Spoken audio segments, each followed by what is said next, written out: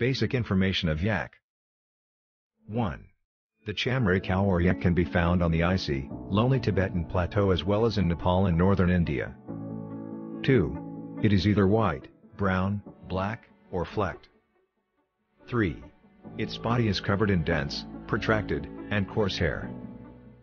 4. Some people also call it the bull of Tibet. It is also called chamari or chanwari or surege.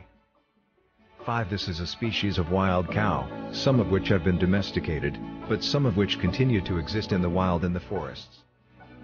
6. Yaks have a high shoulder, a flat back, and short, stocky legs. 7. Its lower chest and upper legs have longer hair than its back and sides, which are covered in short hair. 8. It has a thick, rounded, and shaggy tail that is used to manufacture chamar. 9. Although cultivated yaks come in black, white, and brindle varieties, Kamari in the wild are all black. 10. When a male animal gets older, some of the area near their muzzle remains white and changes to red. 11. Although yak-tamed cows are not larger than bulls, they resemble them more because of their long hair and high shoulders. 12. Wild yaks are around 7 feet long and 6 feet tall, making them larger than tamed yaks. Compared to the male, the female is slightly smaller. 13.